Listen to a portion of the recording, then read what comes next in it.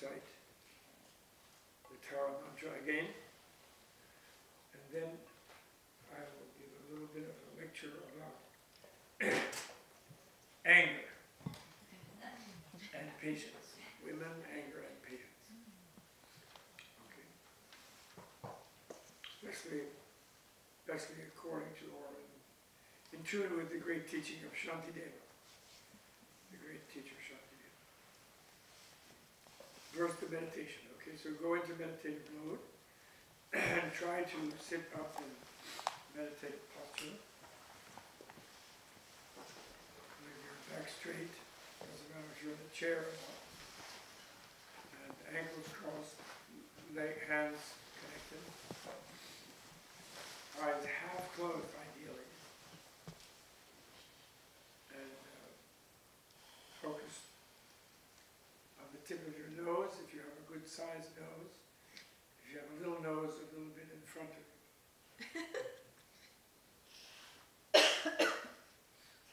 and uh, chin a little tucked, and as if a, a little string was tugging at the very crown of your head, so pulling your spine straight, but not with a lot of pressure. Just a kind of suggestion of kind of proud straightness. That's a good meditation posture.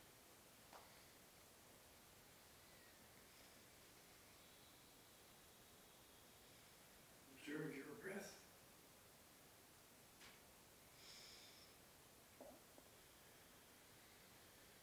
Without breathing too deeply or too shallowly. Leaving, trying to leave it in a normal rhythm. Enjoying your breathing.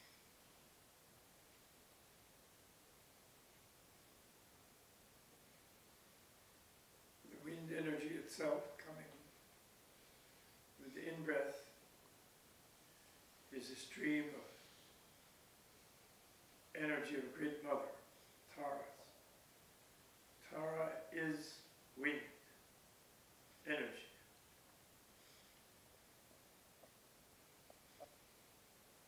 She emerges, she's also wind energy, going out to heat and nourish the plants.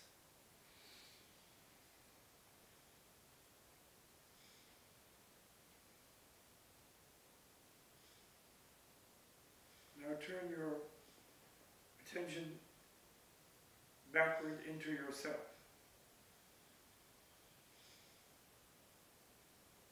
Look into your own face and into your own body and mind complex to see if you can find something that corresponds in any sort of substantial way to your sense of I. The real you.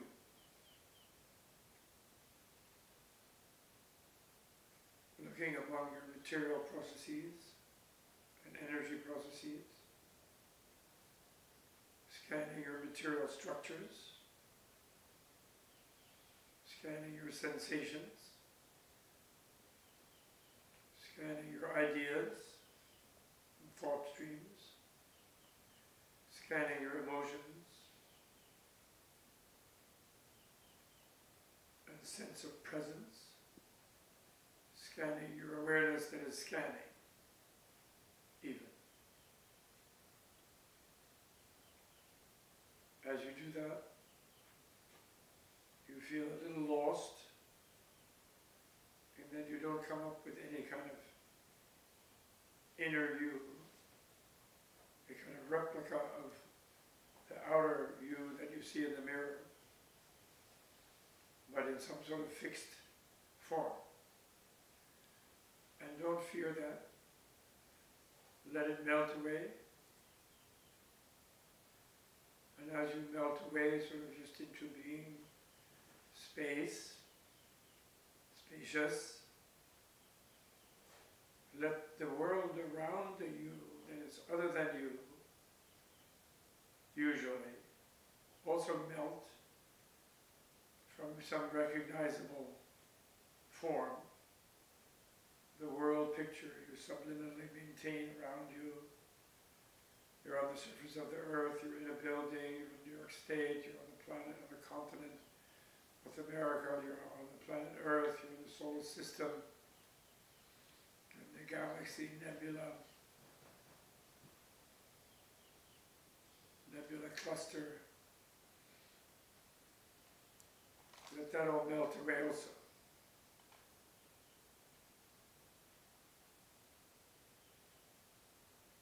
Let it all disappear into the clear light of the void, clear light of emptiness, the diamond transparency that is the everything. Beyond the moonlight, beyond the sunlight, beyond the darkness, a self-illuminating situation of everything being transparent, where there are no shadows, no light and dark as opposites, because everything is self-luminous.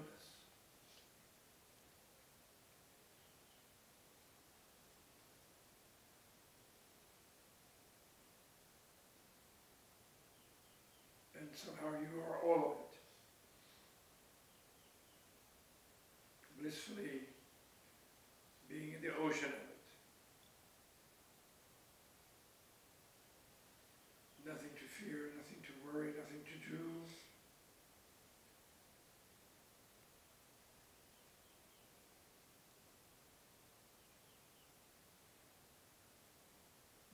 Not to do. So then you can arise just for fun,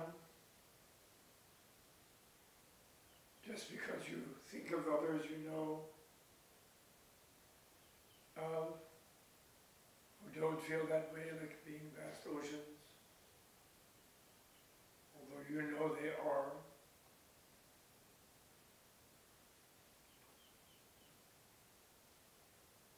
In your ideal meditative form, both body and mind.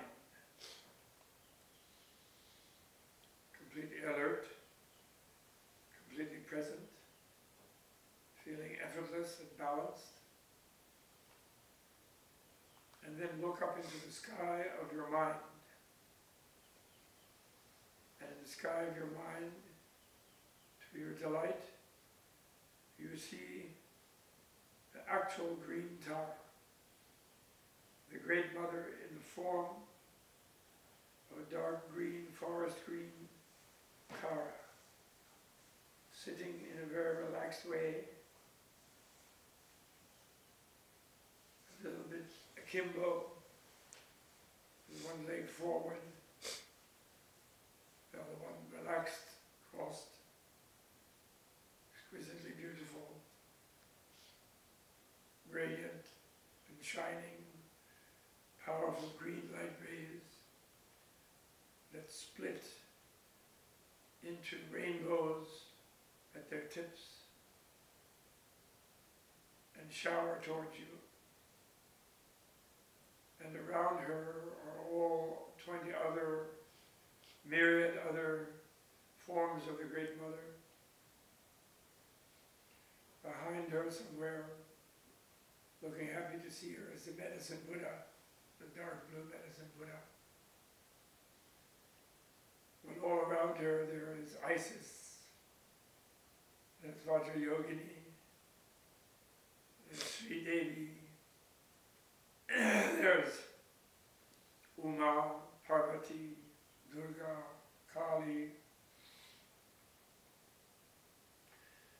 The Holy Ghost is actually Mrs. Yahweh, Ms. Yahweh, Yahweh. the Holy Ms. Yahweh, who is really probably Isis, the Virgin Mary. go into them.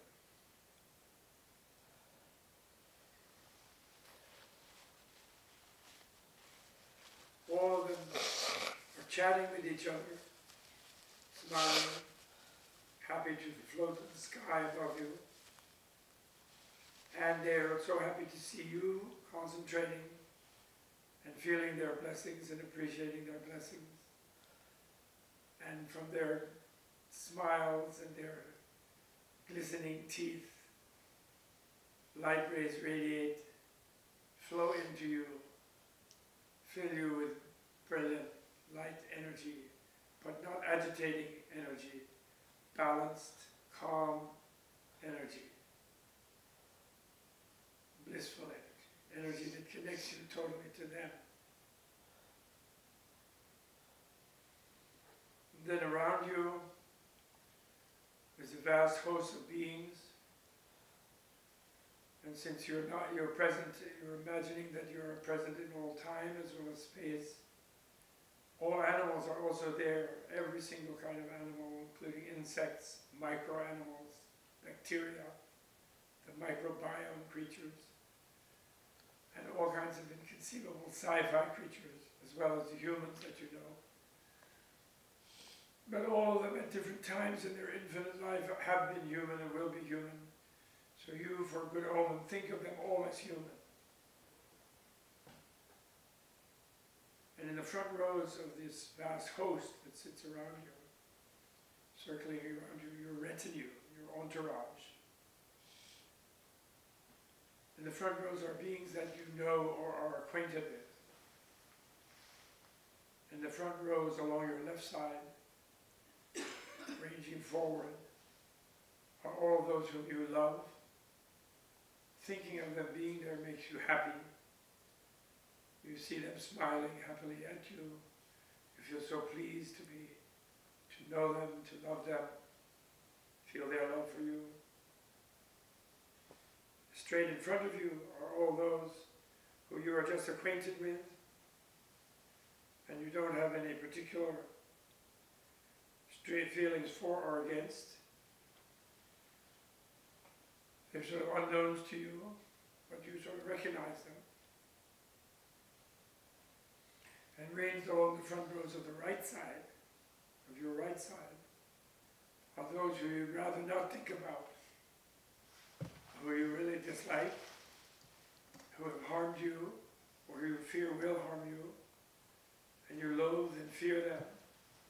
They can be from any time in history, some mass murderers, some horrible creatures, they can even be devils or demons. Really the worst kind of beings. You just even feel offended that you have to think about. When you notice all of these beings are looking at you, because they do not see the vast host, the multitude of the great mother manifestations, the great goddesses the sky, along with the medicine Buddha and other Buddhas, supporting them, partnering with them, further behind.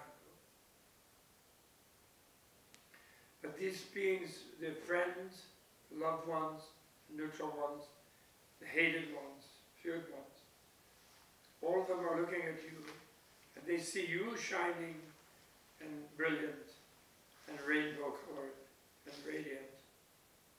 Just like you see the, the Tara, green Tara, white Tara, yellow Tara, golden Tara, red Tara, blue Tara. They see you like that, like a flood of rainbow light, showering them with light. And the light like just reflects from you equally to the enemy, the neutral, and the, loved one, equally. Because you're just reflecting. And they appreciate it, eh, all of them actually. The loved one, of course, loves seeing you happy and feel your blessing. The neutral one is intrigued to receive this energy without really knowing you, but seeing you shining. And the enemy is happy to get your energy for themselves. And they still appreciate it and think you're silly to shine on them since they don't like you. But you shine on them nonetheless. And it actually makes them feel better. And then they feel less interested in being your enemy. So just you bathe in being this nexus with all the great mothers radiating, filling you with light and energy and calm and clarity. And then you transmitting this simultaneously, resonating it out towards all beings, and receiving gratitude and appreciation for your graciousness to them. Because they, it's just coming through you, but they perceive it as from you. And then you send your gratitude and appreciation to the graciousness of all the great Mother Goddesses. And this is the, and in this setting, with this backing and this energy, and for these altruistic purposes of illuminating all beings around you, there is nothing that you cannot understand. There's nothing that you cannot realize. There's nothing that you cannot manifest. Your creativity is totally good, totally cosmic. It is one with the creativity of all the most admired beings. You can add in the range of the beings in the sky, your sky of refuge and blessing and sanctuary. You can add in there all human beings that you know who have blessed you, teachers that you have had, parents, loved ones, friends, beings who love you and have supported you. You can add them all up there. Those who you especially who you admire, that you don't have to know them personally. you see them smiling toward you. And they are all there for you. So you feel completely any previous image you may have had of yourself, of being unable to understand, unable to be creative, somehow not worthy, somehow not enough of this or that, is all melted away. And you are just a channel of the infinite creativity, of the love of the universe, of the clear light of the void, of the love of all enlightened, selfless, loving beings. Just bathe in it. And although you are, and then don't worry if you can't keep this vision held in your mind. Just by running through it, you sort of have a glimpse, unless you have a very stable mind from long concentration practice. You have a glimpse of, say, something like a Green Tara or a Mother Goddess or Virgin Mary or Krishna, or, or Radha, Sita, Uma, Parvati, whoever it may be. But once you glimpse there, you just know they're there. You feel the light come from them. And then you imagine all the beings around you in a vast host. And once you scan over that in your imagination, you just know they're there. You don't have to keep thinking about them. You don't have to get frustrated. Oh, I can't visualize that. Oh, ah, you know, just ignore, bring your mind back to bathing in the infinite blessing and graciousness of the love of the infinite love that is the most powerful force of the universe. The Vajra force.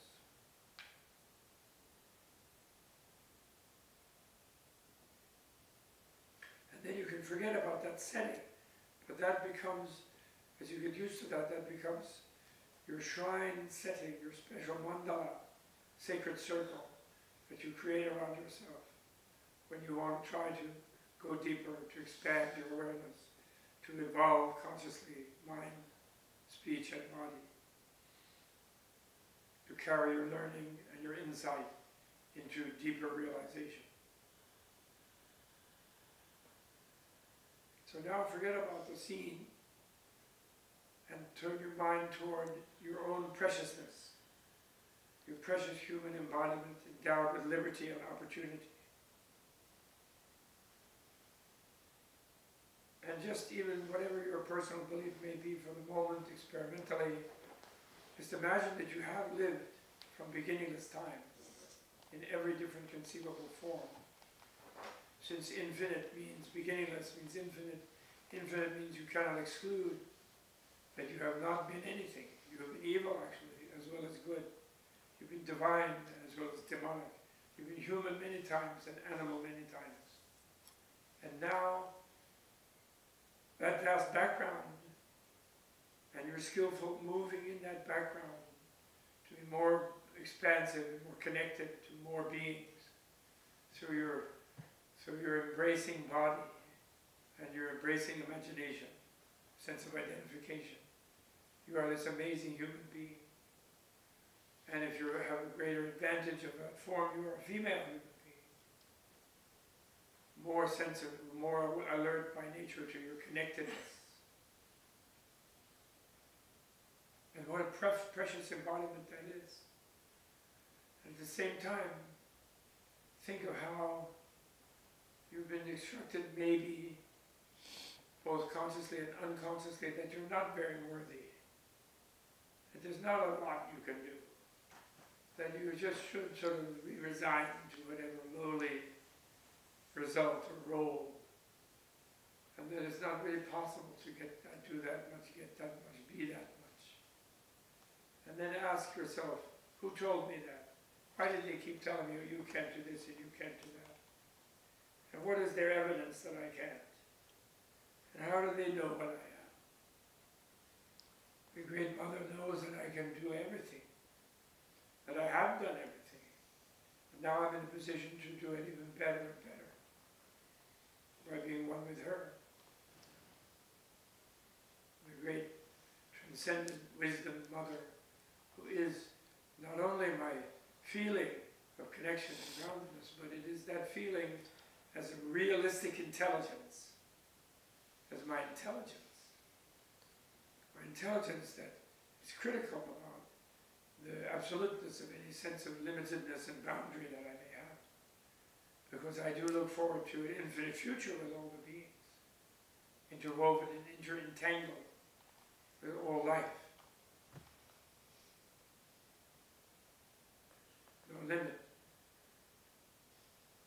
And then realize, quickly moving, just like a little bit of an arpeggio, but gee whiz, this particular embodiment that I have, I will definitely lose. There's this thing called death, which, show, which is the impermanence of this constructed thing, which is my body, made of causes and conditions, within conditions. And I will leave my soul continuum, my subtle spiritual essence will go on, in, as a, not as a fixed thing, but as a as a trans, constantly transmuting and transforming continuum. And it may go from the cocoon of this body into a magnificent butterfly if I guide it artistically in that direction. It could fall back into some less free form, which I don't want. But the main thing is, I must learn how to navigate this because I will be losing this body, the vehicle of the marvelous sensitivity that I have, marvelous intelligence that I have, the memories that I have. A lot of them will, will be lost. So what is it that I will keep through that doorway? And that I should invest in to make sure it is love, freedom, generosity, patience, intelligence, concentration, creativity. And then looking ahead, I, I, I recognize many forms of problems. I realize even if I live in the Trump Tower, or in the cosmic Trump Tower of heaven, there will be problems in heaven. Some annoying people will also go to heaven, irk me, irritate me. Some other angel will brush me with their wing in an annoying manner and everything will, there'll be some imperfection and dissatisfaction with everything. So I don't really necessarily only want to go to heaven. Actually, I'd rather stay human, rather stay in this place in the center of the cosmos, in the center of the scale,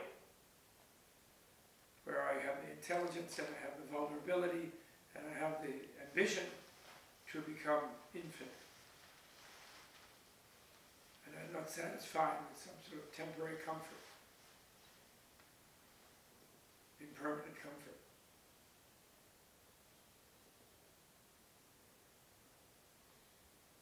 Then I remember about how to be skillful about evolution. And I realized that every act of generosity, true generosity, every act of altruistic ethicality, doing something that because of how it positively affects another.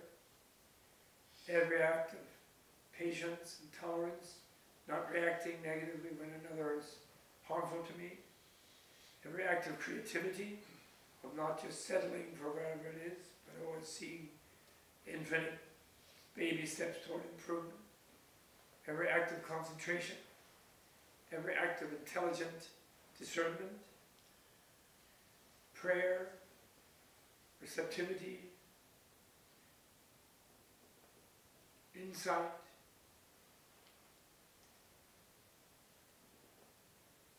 and majesty, magnificence, beauty.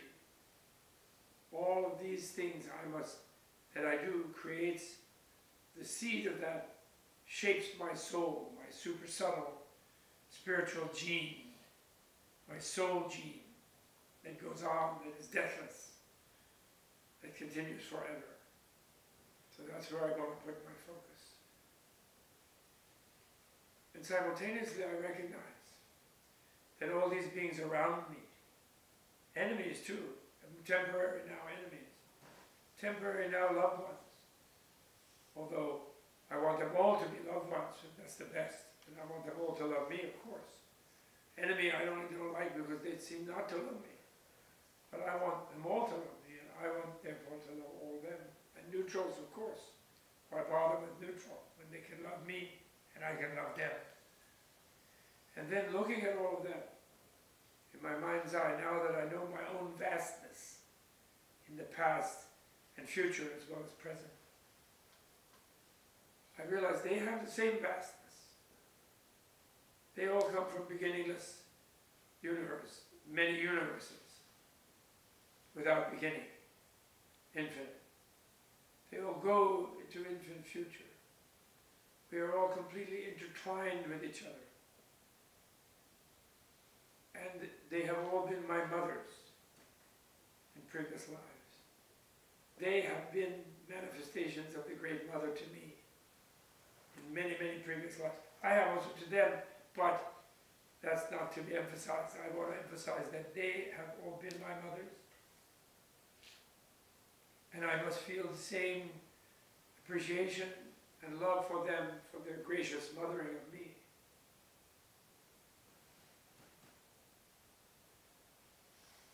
And I must return the favors to them. I must love them with unrestricted and equanimous compassion and love. Even if my mother of this life was a pain, when I grew up, still she carried me in her womb. She suffered to bring me forth. She looked after me directly or indirectly in some way.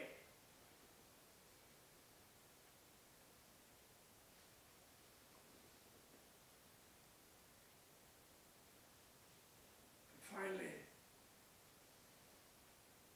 I must honor the Great Mother by not restricting my ability to understand her fully,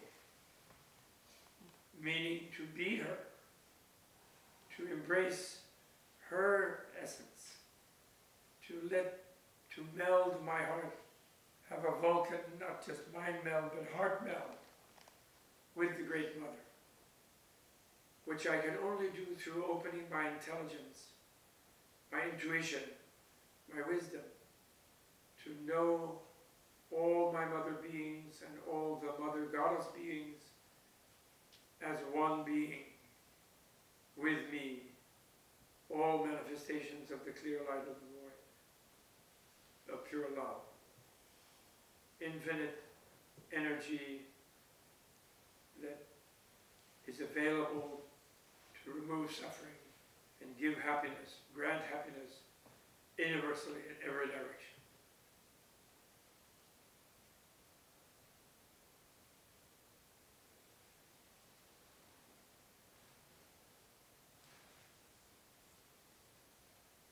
Now second. Within that, still in this framework, having rehearsed a kind of arpeggio of unity celebrating confidently our own full enlightenment through the great mother of all Buddhas, who has mothered us in life, infinite times, and who wants to mother us to Buddhahood, which is infinite life, and awareness of infinite life, and free us from ignorance. We now want to practice reminding ourselves of her embrace at all times, her interfusion, her presence in every atom, cell, and molecule within our body and mind,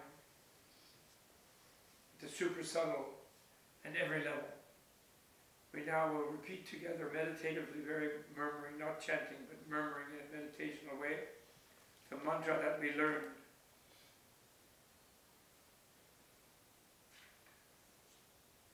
I'll be a little bit louder so that you can remember it in case you haven't Om Tare Tu Tare Tu Swaha. Om Tare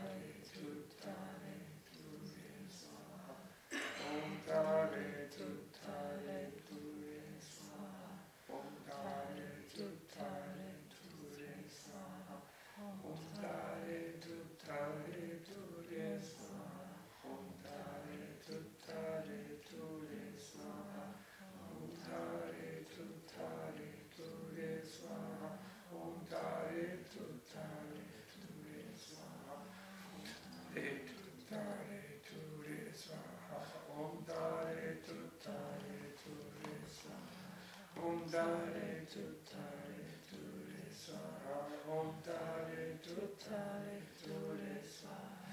Omdare tutare ture swaha.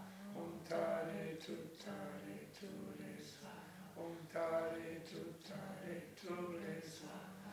Omdare tutare ture swaha. Omdare tutare ture swaha. Tare Tu Tare Tu Re Swaha Om Tare Tu Tare Tu Re Swaha Om Tare Tu Tare Tu Re Swaha Tare Tu Tare Tu Re Om Tare Tu Tare Tu Re Om Tare Tu Tare Tu Re Swaha Om Tare Tu Tare Tu Re Swaha Untare tutare ture swaha, untare tutare ture swaha, untare tutare ture swaha, untare tutare ture swaha, untare tutare ture swaha. Om Tare Tu Tare Tu Re Swaha Om Tare Tu Tare Tu Re Swaha Tare Tu Tare Tu Re Swaha Om Tare Tu Tare Tu Re Om Tare Tu Tare Tu Re Om Tare Tu Tare Tu Re Om Tare Tu Tare Tu Re Om Tare Tu Tare Tu Re Om Tare Tu Tare Tu Re Tare Tu Tare Tu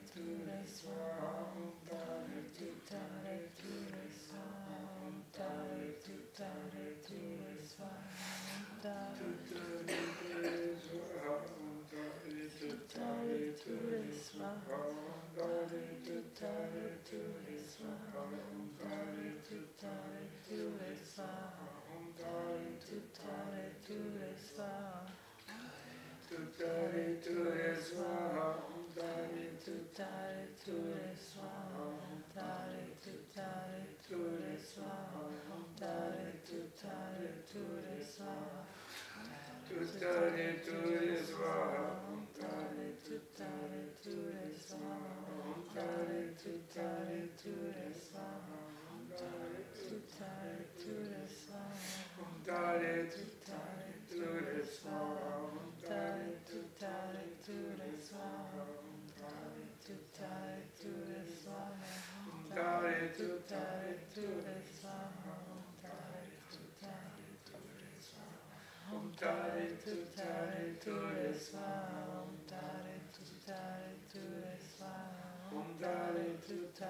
Tu Re Om Tare Tu Tare Tu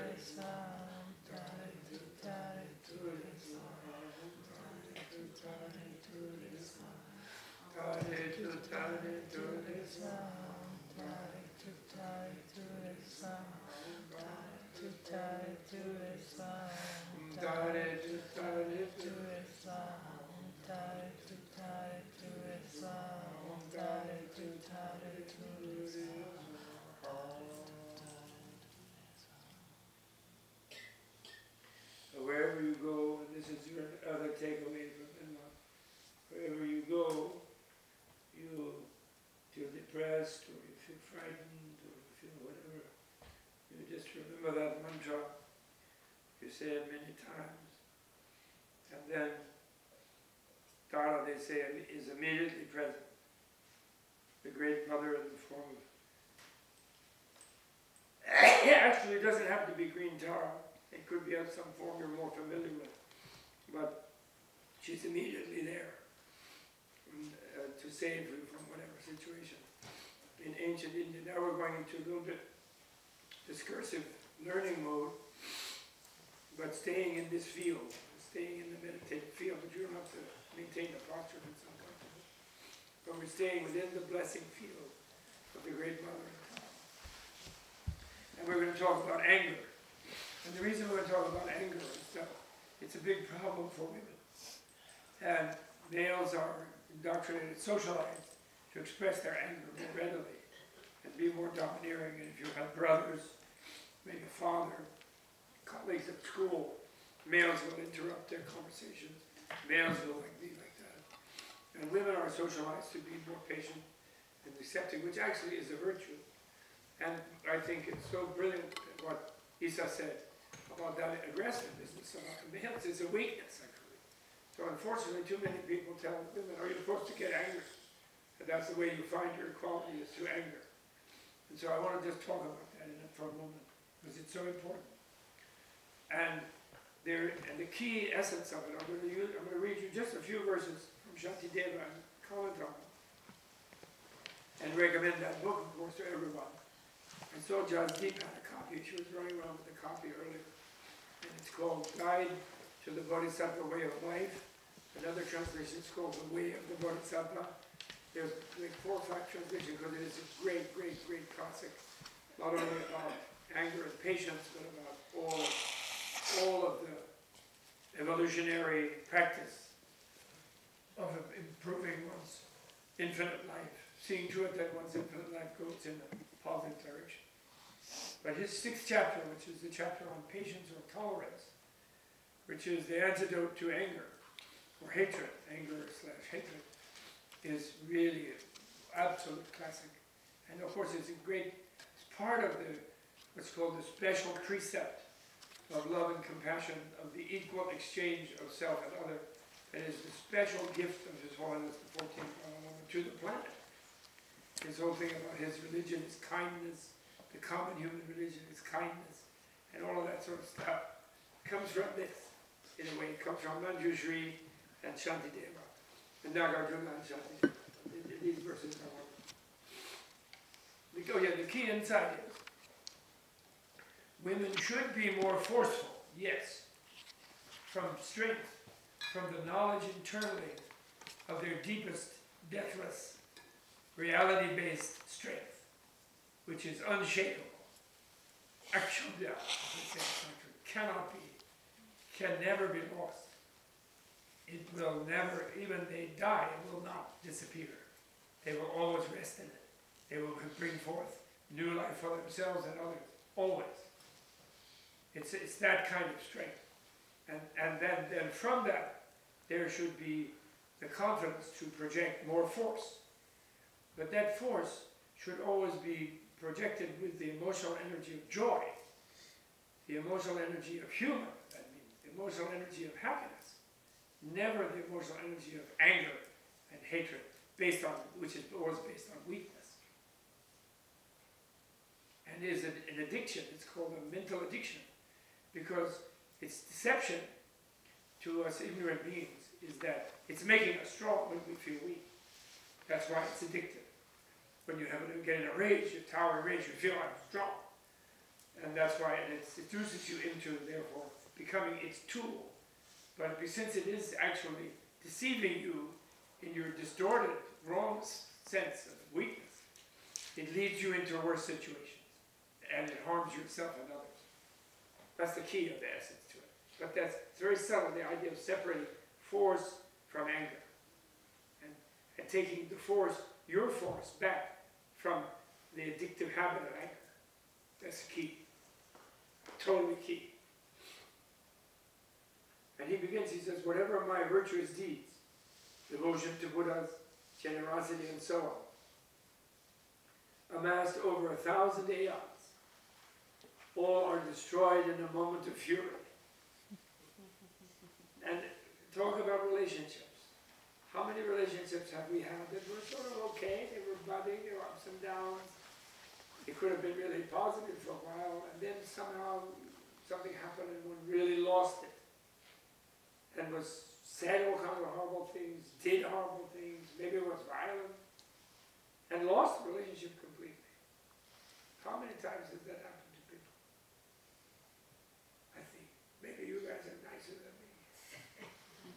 Too many times. There is no sin as harmful as hate, anger, hate. No penance as effective as tolerance. Thus, you know, no asceticism, no, no, no ascetical penance as effective as tolerance. Thus, by all possible means, I should cultivate tolerance with intensity, fierce, fierce tolerance I should develop. In other words, I should develop tolerance to such a degree so no matter what they do to me, it doesn't make me angry, It doesn't make me hate them. It might make me be forceful with them or myself, preventing them or avoiding them, or stopping them from doing more, whatever it might be, but never out of anger or hatred, which is possible. And the key to that is it's like, if we understand that anger, hatred, I'll make it a dash thing, because sometimes people want to make anger into a good thing which it is, it never is. Actually. So anger, hatred, and you know that it isn't because when you feel it, you feel painful. It makes you feel painful, it's not good. You know, the angry person feels very stressed. You know, the cortisol is flowing, very bad for the health and so forth. So, with any addiction, the first step, cigarettes, you know, whatever it might be, is it's really no good and I don't want to do it anymore. And that's, that's a very important step because addictive things, addictive habits are seductive. They're addictive because they seem to, they deceive us into thinking they're helping us. Keeping the mind wounded by hate, by anger, hate. I will never experience peace. I will have no joy or happiness. I will lose sleep and writhe with discontent. But that's how it feels to be angry, right? Doesn't it? Even a Lord whose magnanimity is vital to those he gives wealth and status to is none, nonetheless in danger of being killed if he has hatred for them. You know, if he does it with contempt and despising them, even though he's a source of livelihood, they'll rebel and they'll, they'll, they'll hate it. It's also, it's bad for you, the previous verse, bad for your relationships. Hate, anger, hate wears out friends and relatives. Though attracted by your generosity, they will not trust you. In sum, there is no way to live happily together with the fire of rage. Anger, my only real enemy, hatred and anger, creates such sufferings as these but who controls and conquers it finds happiness here and hereafter.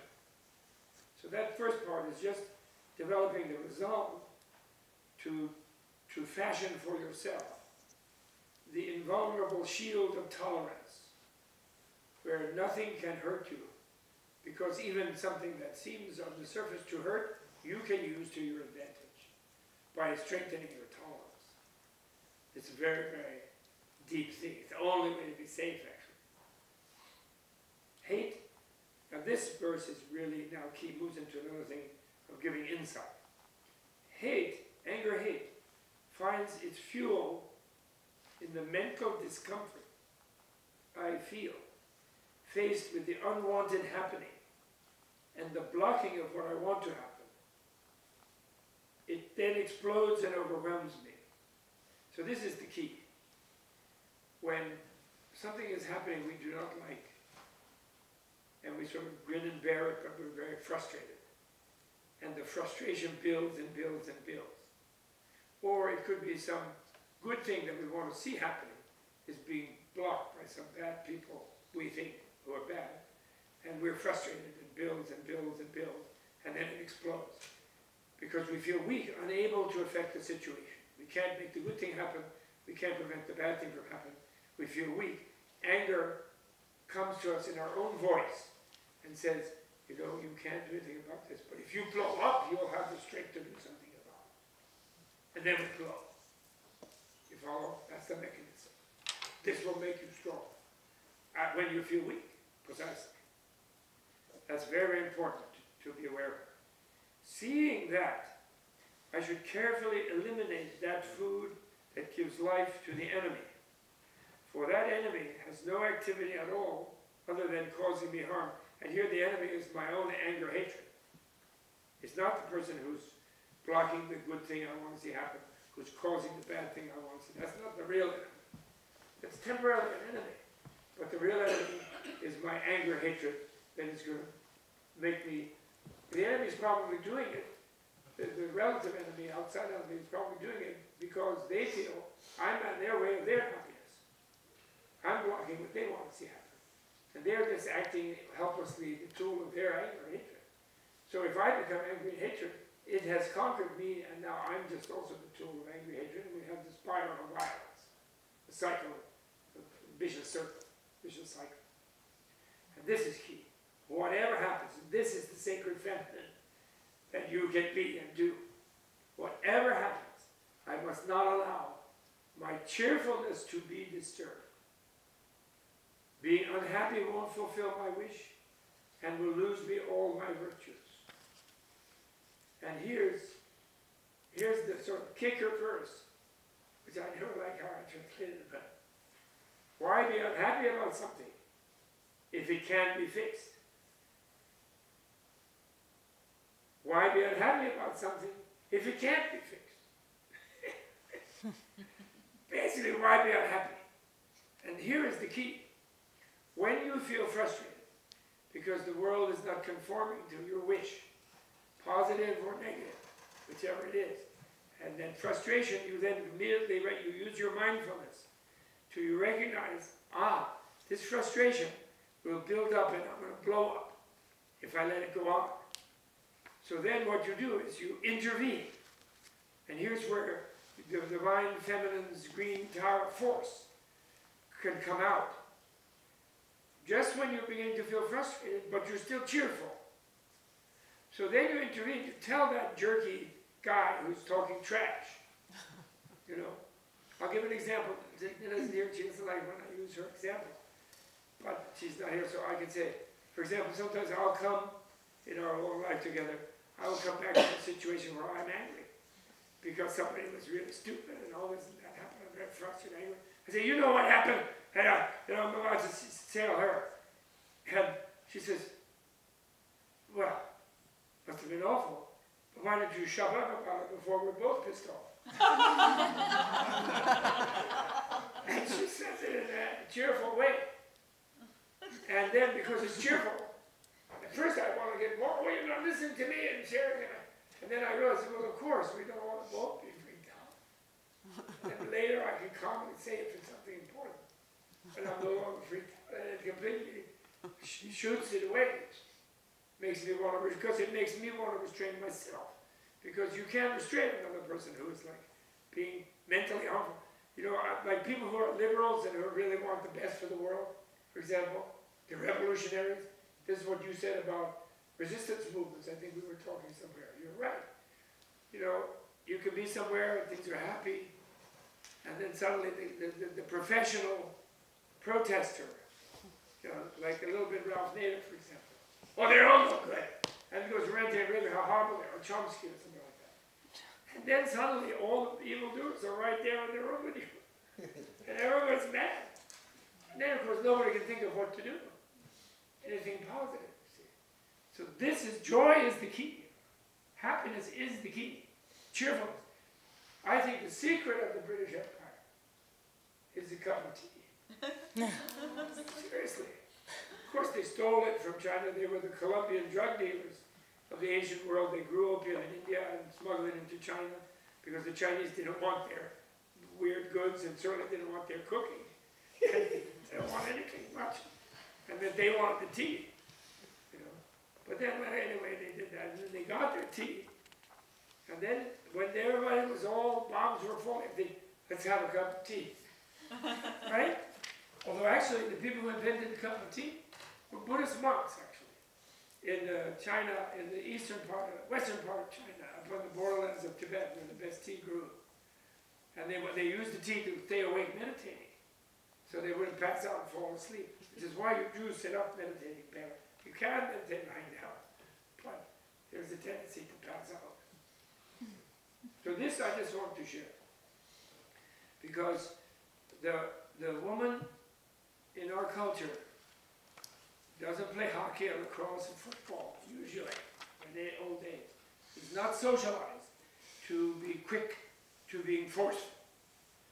And the key to adjusting that balance is not to resist angrily, because then they will bring down more counteraction and violence upon themselves, and also they'll feel bad doing it and make it worse.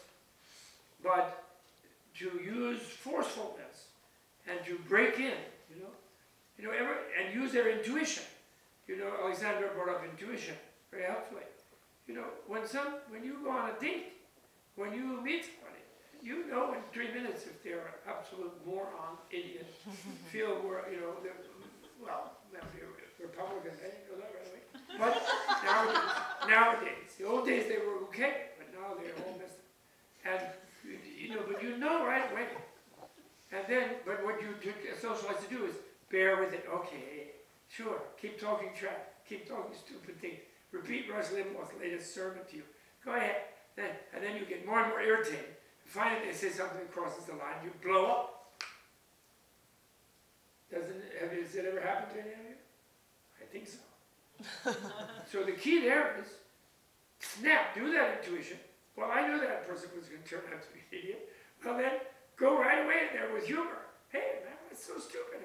Uh, do, you, do you enjoy being stupid? Or is it just uh, for fun? Or what, what can we do about it? Can we learn something How about the fact? You know? Whatever. And then they'll either leave, which is good. Actually, my eldest son, who is much smarter than me, he has a motto for Nina. His motto, his motto about me is also very good. I'll just tell you. So his he's always a little critical of his parents. And he says, that's all I want to read. And he says, my motto is, because he gets it from my carpentry, because I built my own house. And I'm a carpenter. He says, my dad's motto is, why do it right when you can do it yourself? and his motto about midnight why be nice to them for a while, only to have them get mad at you later, when you can piss them off right away? but it's actually, she gets, oh, I don't want to. It's very, she's a little proud of it too, but it's very important for women in our society. And actually, if you're really joyful and you, you're so skillful and you have great good humor and beauty, and so you can you can get in there to the Donald Trump type before they rant, as they just start to rant and rave, and you can kind of tweak it in another direction by intervening and resisting, but in a humorous way, but critical, not standing up for yourself, mm-hmm. and, and saying, I'm not going to tolerate this thing that's going to lead to me being frustrated and then being angry, and either expressing the anger in an angry way and getting more angry from this abuse, this stupidity, or not expressing it ever and then internalizing it and feeling all depressed. Either way. It isn't anger, you know, it, it, if you express anger, it doesn't make you feel better, actually. But if you are forceful, happily, you feel better. The key is you never need to start not feeling better. That's the most important point. in Shantideva's teaching. And it takes mindfulness. It, the purpose of mindfulness, you know that thing about everybody does vipassana, and they, but they don't really usually get to the real level of vipassana, which is where you're looking for the self and failing to find it. That's what vipassana really is aiming at. But the first level of it, which is the mindfulness level, is where you count that breath, and then your mind wanders off into memory or fantasy or expectation or worry. Trains of thought takes it away from counting your breath. Then you suddenly go, oh, oh back to breath. And then you feel bad, you mind wander and all this kind of thing. But what the point of that is, is to dismount from the thought stream. To begin to realize that you have a choice internally. Where's that lovely lady who talked about choice? Oh, she left this morning. Yeah, not she's here. gone. Uh, Nancy. What? It was Nancy. Nancy, that's right. Oh, too bad. Anyway, you have an inner choice. but you have a thought stream, about whatever, you have a choice to follow it or not follow it. You can replace it with a different thought stream. In other words, you develop kind of control. It's like, I like to say, it's like if you've never practiced any kind of mindfulness, which you might have come upon, of course, by nature, not just from Buddhism or something. It's not only by Buddhism. There's, it's in all proverbs of all different cultures to be mindful about your reactivity and your thought and being victim of your own thoughts.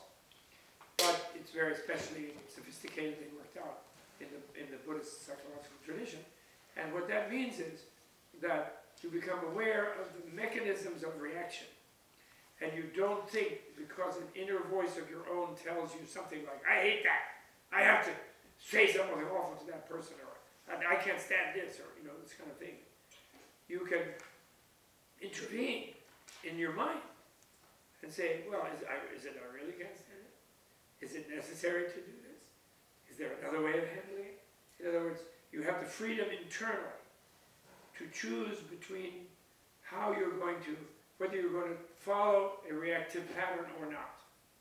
And for that, you need to get yourself a little space, split second. That's like taking 10 deep breaths before having a fight, type of thing. You know, that's without Buddhism. You have that. Everyone knows that. But it's a matter of learning to use it and getting more skillful about it. And then you can do, you can keep your good cheer. Right? This is key. And I think it's key in sort of a practical level as the third takeaway of the of the uh, sacred thing. Okay? So now that's it, that's all I have. And what you do at the end of this kind of refuge meditation, where with the two aspects are you remember all the great beings, the goddesses, the Buddhas, the Taras, the Virgin Marys, whoever, the great mothers, whatever it is. And you realize that they are all with you because they are vast, enlightened, infinite beings, and they are with all other beings because they think they are the same. They or they realize they are the same. So all the Buddhas, Jesus, Mother Mary, even God, when he's in a good mood and the Holy Ghost is being a real female for him, balancing his excessive that macho thing, then they're all with every being all the time. So when you visualize it, you're just being aware of the reality of it. And then the second component is you're with all the other beings who are needy like you. Your loved ones, with all the other like ones. The animals, the insects, the demons even. You're with them all. And you're all totally entwined all. So you create a field where you're in this altruism field and you're in this grace field where the amazing grace of all enlightened beings and the divine beings are with you. And that's you create that. When you finish that any meditation, you create that before any meditation, whatever it is, and you finish it by visualizing that the gracious ones in the sky, Divine Mother, you now meditate, it's not, we're now finishing meditating, they are there and they are so pleased with you that you have been doing whatever level of meditation you're doing, you're counting your breath or whatever it is, mindfulness, seeing all beings as mother, being compassionate, being wise. They're so pleased that instead of sitting up there and sending light rays, they melt into pure light, they flow down to you, they become one with you. And you feel them becoming one with you. and you feel them being present forever in your heart, at its deepest sunless level, fused with you. And then you don't just hog that up, you follow their example. And instead of reflecting their light and radiating out to all the beings around you, loved ones, neutral ones, and even enemies, and you flow out into them, and you fuse and become one with them, and disappear out of your meditative, special, self-confident state. Mother Goddess initiated, infused state. And then you, and then you sort of hear in your mind's eye, or your mind's ear, one of your relatives, or maybe your enemy, or maybe your neutral neighbor, say, hey, where did so-and-so go? They, uh, they were just shining over there, where are they? And then you're back in your ordinary persona, in the ordinary world. That's very important, to always make that transition, and then be back in your usual self, but hopefully somewhat slightly changed by whatever you meditate. Because your normal self is never fixed. It's always a flow being. But it's anyway, your normal self. Therefore, you don't get stuck in this state that some people who get into these kind of meditations do. Where they say, oh, I'm Green Tara, or I'm the Great Mother. I'm not going to wash the dishes. I'm not going to pay my parking because I'm Buddha or something. We, we get people like that. You have to have resilience and flexibility of identity and be content to be yourself your, your habit, more habitual self with little baby step changes, as well as some meditative mind self. Right? Don't get stuck in either way. That's it for me. But we probably want to do some closing things. Can I just say a little something? Of course, you do closing things. And we don't have to stop exactly, Okay, but it would be good to stop soon. People have to go and uh, pack. I just want to say a little something about anger. Yes, Is that okay? Please. Oh, absolutely. Yes, sir. Um, and, um, I, I think it is complementary to, um, Shantideva's teachings and your teachings. But I, I would like to maybe say something that might sound a little bit contradictory at first, but it's, I hope, it's not meant to in any way be that. Um, I think that one of the mistakes that people can make with anger, I mean, I totally agree with Bob is saying, is you have to, have to develop tolerance, and you have to recognize anger as the inner enemy uh, within yourself, uh, in terms of drawing on the power of anger in order to act, right? But there's something about anger that is really important, which is that it tells you that there's something wrong. And if you, if you find yourself angry, it's likely that you may have been, either you may have done it yourself, or someone else may have had some kind of violation, may have committed some kind of violation. And one of the things, as Bob was saying, is that women are, are taught to, you know, give it up, give it up, give it up. And if you keep giving, if you, if you feel, if you have this sense of anger and you give it up, you can continue to be violated in a way that's not helpful for you. True, absolutely. So it's important to listen to the and then think about what is the constructive action that I can take. And Bob is, is uh, prescribing, and Shantideva is prescribing this joyful action in a different direction. And I think that's important, but I think it's also important, of course, because, you know, I, I, I help people heal. I mean, that's, that's what I do, right? I try to, my best. And, um, so when a person has that feeling, I'm angry, there, there can be some kind of a wound that has been created there by the violation of the other person. And the action to take in that case is to heal that wound. That's the first thing to do. And not to go at the other person, as, as, as Bob is saying. But you do need to listen to the anger. You do need to see where the problem is. And if it's coming out of, for instance, giving it up, giving it up, giving it up, then you need to stop giving it up, right? And you, you and then that takes courage because one of the ways that women keep peace is to give it up. And you may have to have a little bit of discomfort to, you know, when you stop giving it up, the other person might be, have a little bit of an issue. And then you have to gain strength within yourself, not from anger, from that joyful place, from that place of deep knowing that Bob was talking about, to be able to stand with courage in the face of their dissatisfaction. And so I think that this is a very useful way to work in a, in, as Bob was saying, in a skillful way. So I, I just wanted to. I totally agree, and actually, what you're saying, let me just add to it something, building again, that I hundred percent agree with it. And as I was trying to say, that the female must, in our culture, must be more forceful. And there's a way of defining the word in modern parlance, anger, as the name of the force, and hate as the negative. So that you separate anger and hate and say the anger part is good. But it's a little dangerous to do that because the, the older sort of moralist writings, you know, like all the way back to Seneca in the West, Seneca, you know, the, the, the anger is the one, and if you go into, you know, words for anger in other languages, they all have to do with feeling pain.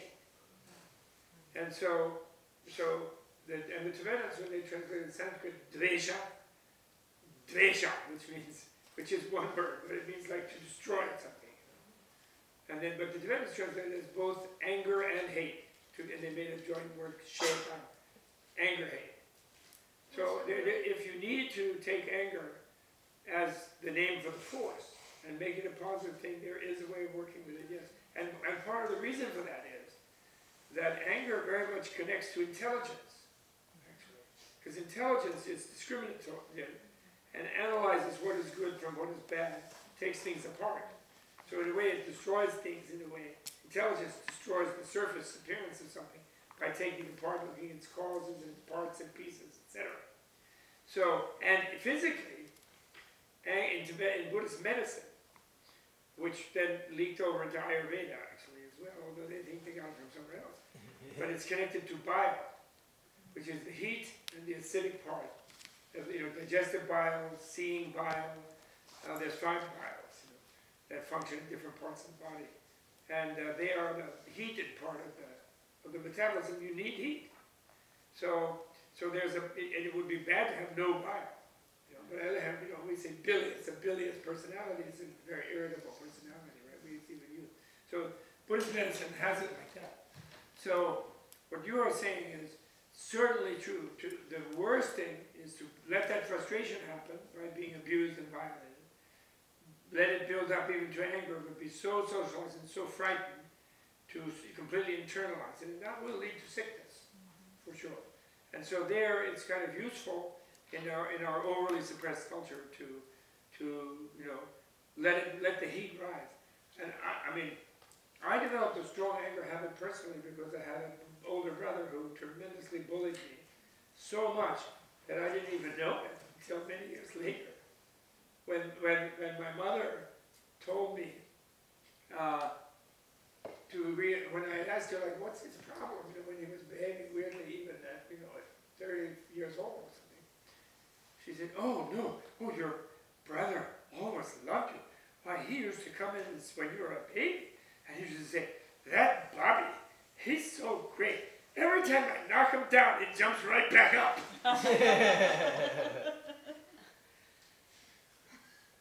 Oh, Jesus. I never repressed it, but then I developed the idea of es because of feeling weak, because I was smaller. I developed a very escalating temper, which would make him like caution, you know, would make him like back off. But that's a really bad habit. You know? And uh, so, so anyway, I 100% agree.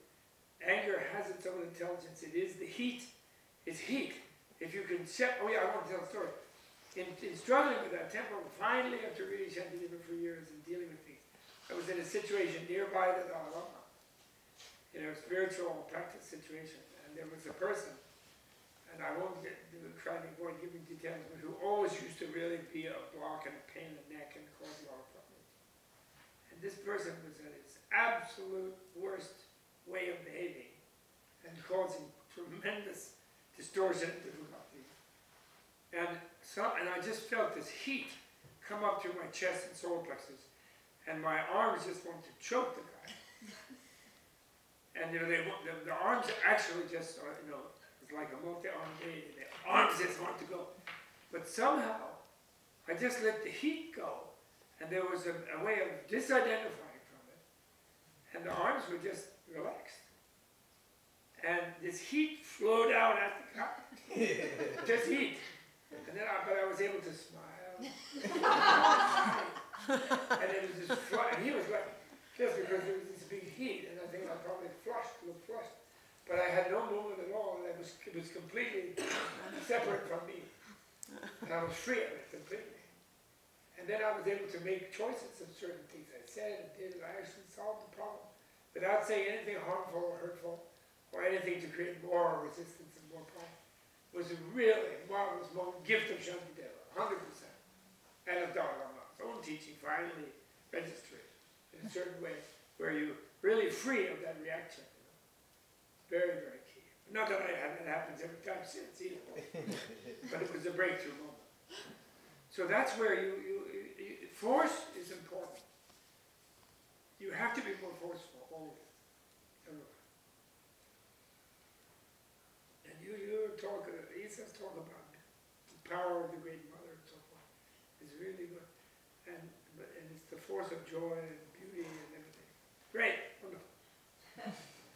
All right, well, thank you so much, everyone, for being here. Uh, Justin? Can I make a small request of the teachers and everybody here? Maybe we can do a group photo?